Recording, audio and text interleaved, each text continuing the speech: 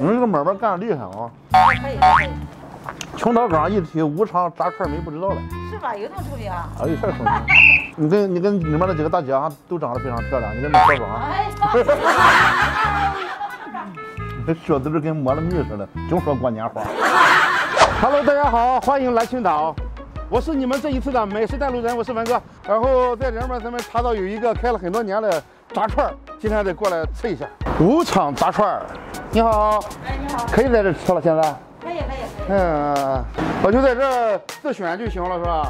啊，那这个小店外面看很小，里面很厉害啊！里面一看挺干净的，全是不锈钢，都在忙活着啊，这一份一份的。青岛是一个轻纺城市，我们这儿靠港口近，我们大部分的上一辈的老人，尤其是女的，大部分都是国棉厂什么上班的织布女。好的，谢谢。人这个武昌炸串吧，为什么有名？我感觉大是有点意思的啊。不管什么东西，三块钱一根的都特别特别大。你看啊，咱们前面走过了那那几个比较有名的炸串，有的做的非常漂亮，跟画一样。呃，有的炸串吧是年头久，炸的什么入味儿软脆。这个武昌炸串吧，我感觉是里面最大的，真大啊！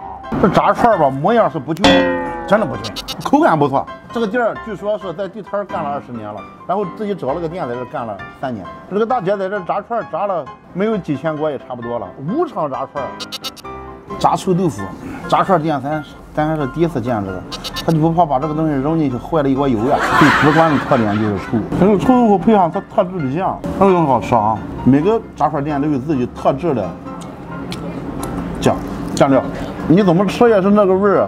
美食主播经常说的软烂入味儿，颜值就这么回事儿，主要看你文哥吃是吧？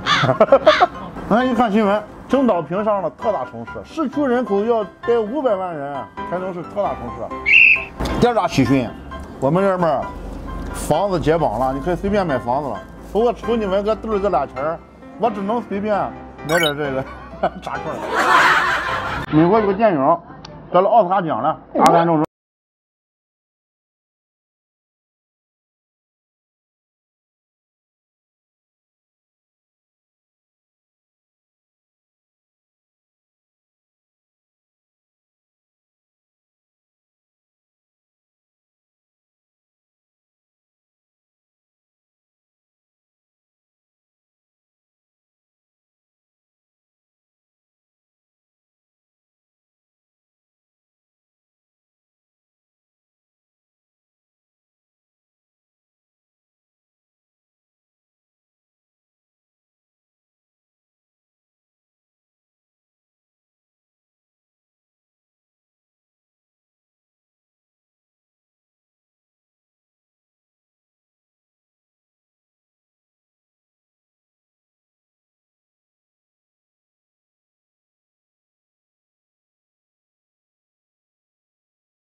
冷面了，你想脱单，你想迎来你的春天，你得多研究这些小女孩愿意吃的东西。很早以前吧，我们跟一好朋友吧，带着带着小姑娘上啤酒屋，啤酒一上桌，为了体现你文哥的豪爽，你文哥拿起杯来，咚咚咚就干了，跟大爷一样。那是年轻，我那朋友比较狡猾，人家没干，人家从兜里掏出两根吸管来，最后人家那小妹就跟他走了，你别气人。你们知不知道青岛小妹最喜欢吃的炸串在什么地方？你给文哥留言啊！另外，你想知道这个店在什么地方，别忘了啊，吃货导航图在上面搜，你知道怎么找吃货导航图吧？